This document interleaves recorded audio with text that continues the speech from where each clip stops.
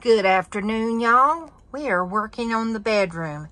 As you can see, we're pulling up the carpet. The next thing we've got to do is we got to remove this dresser, which is trying to fall apart. But look how the carpet runs all the way to the wall. And we want all the carpet out of here. So, we're pulling it all out. Let's see if you can see around here. I'm about to pull that carpet out of there. But, all along here, I have to pull all these staples out.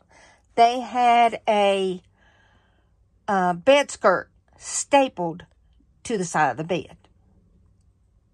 Yeah, they ain't too smart.